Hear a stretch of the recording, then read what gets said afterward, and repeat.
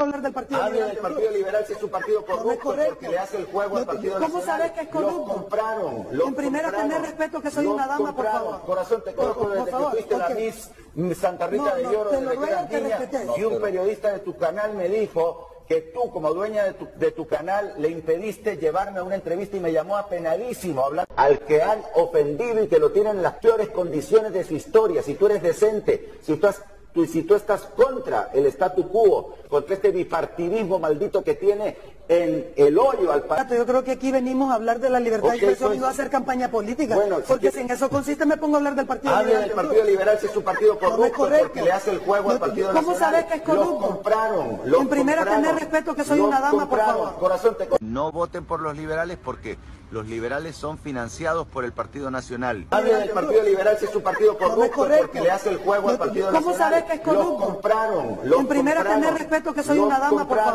favor. El Partido Liberal es lo mismo que el Partido Nacional.